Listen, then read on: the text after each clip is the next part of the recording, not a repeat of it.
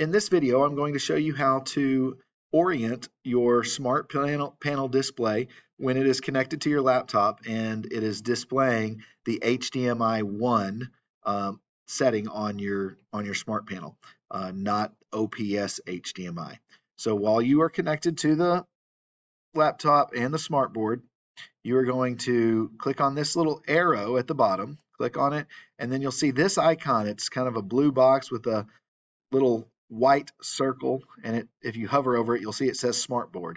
You click on that, and you'll want to click Orient. And when you do that, it's going to put an orientation screen on your smart panel, panel display. Uh, if it's not, if it displays it on your laptop or on your additional monitor that you have in your room, you just need to hit the spacebar to move it through the different display, the different um, displays that you have. And so right now it is on my smart panel, but if I were to hit the spacebar, which I'm going to do now, you see that it will move to the, the laptop. And if I hit it again, now it moves to my additional monitor. If I hit it one more time, it then goes back to the smart panel display.